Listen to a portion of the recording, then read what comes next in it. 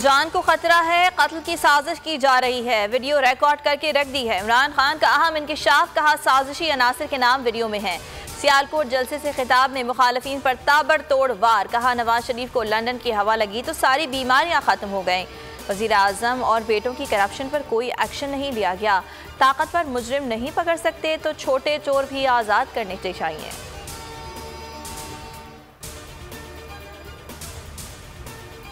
इमरान खान का नया बयान भी फ्रॉड है। उनके पास कत्ल की साजिश के शवाहिद हैं तो पेश करें, तहकीकत करवाएँगे।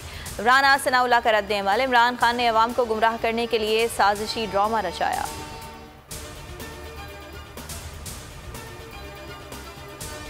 कराची में हलीम आदिल शेख के घर पर पुलिस का छापा। गिरफ़्तार करने के लिए छह मोबाइल्स पहुँची। जमानत के दस्तावेजा देकर वापस हो गईं। हलीम आदिल शेख के खिलाफ दो मुकदमा दर्ज थे। अली जैदी कहते हैं इम्पोर्टेड हुकूमत घबराहट का शिकार है। हसान खावर ने कहा, ऐसे ओछे हथकंडों में ये कामयाब नहीं होंगे।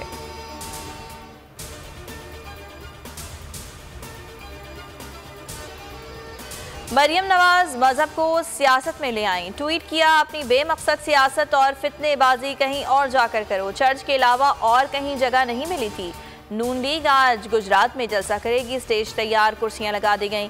मरियम नवाज़ और हमजा शहबाज खिताब करेंगे।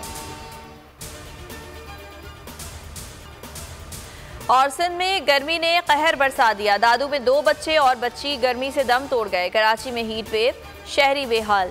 जैकबाबाद और शहीद बेनजीराबाद में दर्ज हरारत तिरपन डिग्री तक जाने का इम्कान। महकमा मौसमियात ने वार्निंग दे दी, गर्मी की नई लहर 18 मई से शुरू होगी।